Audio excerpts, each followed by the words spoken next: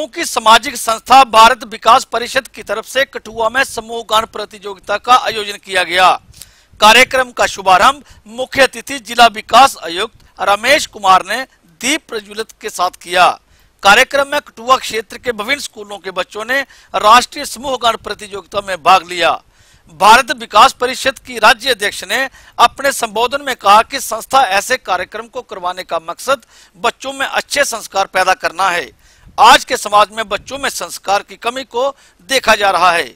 उन्होंने कहा कि समूह गान के ज़रिए बच्चों को समाज में छोटे बड़े का फ़र्क बताने की ज़रूरत पर ज़ोर दिया जा रहा है।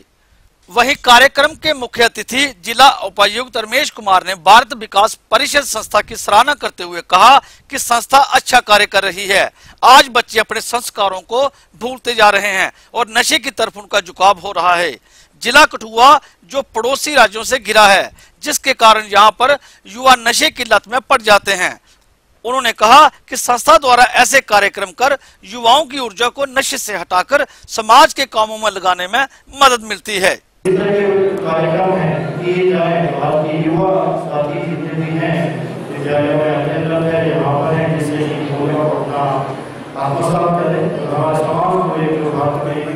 विश्व